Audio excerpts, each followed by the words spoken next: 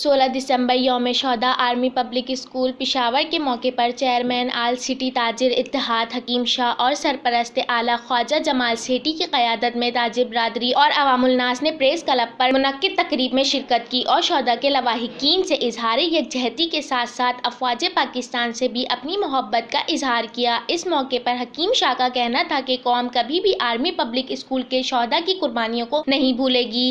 جذبے کے ساتھ آج سب یہاں ہمارے ساتھ موجود ہیں۔ سولہ دسمبر دو ہزار چودہ کو اس دن دہشت گردوں نے آرمی پر